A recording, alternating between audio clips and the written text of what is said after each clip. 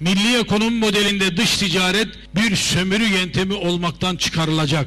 Alışveriş kurallarına göre yürütülecektir. Yani Allah nasip ederse Türk lirası dünya parası olacaktır. Tezimize göre madem ki ulusal paramız FX piyasalarında işlem görmemektedir öyleyse kendi topraklarımızda da bu paraların konvertibil olmasına müsaade etmememiz lazımdır.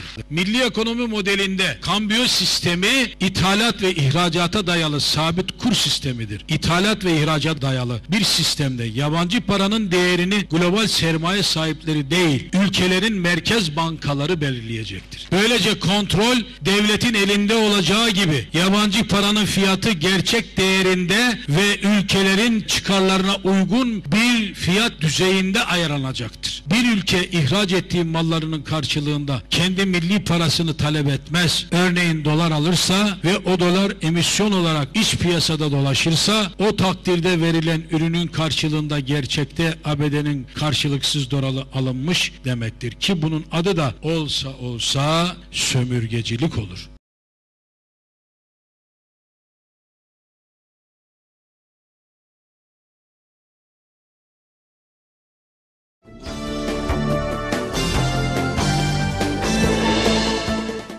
Her birey potansiyel olarak kendi tükettiğinden daha fazlasını üretme kabiliyetine sahiptir. Bunun gerçekleştirilmesi için gerekli kaynaklar da mevcuttur. Bize göre her doğan çocuk diğer sistemlerde olduğu gibi ekonominin sırtında bir yük değildir. Bilakis tüketim kabiliyetini artırarak üretime katkıda bulunan ve onu teşvik eden bir unsurdur.